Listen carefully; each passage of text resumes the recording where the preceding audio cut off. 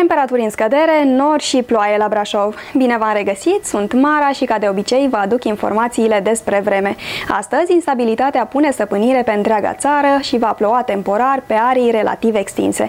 Vor fi averse ce pot fi însoțite de descărcări electrice. Cantitățile de apă pot depăși 10-15 litri pe metru pătrat și sunt posibile căderi de grindină. Temperaturile maxime la nivel național se vor încadra astăzi între 21 și 29 de grade. La Brașov, vremea va fi în general instabilă, se adună norii și va ploua. Vântul va sufla slab până la moderat. Valorile termice sunt în scădere față de ieri, astfel că maxima termică va atinge astăzi 23 de grade Celsius. Și în zilele următoare vremea se va menține instabilă. Vineri 26 de grade, sâmbătă și duminică 21, respectiv 19 grade, cu șanse mari de precipitații. Așadar, țineți umbrelele aproape. Atât deocamdată despre vreme, sunt Mara, o zi frumoasă vă doresc!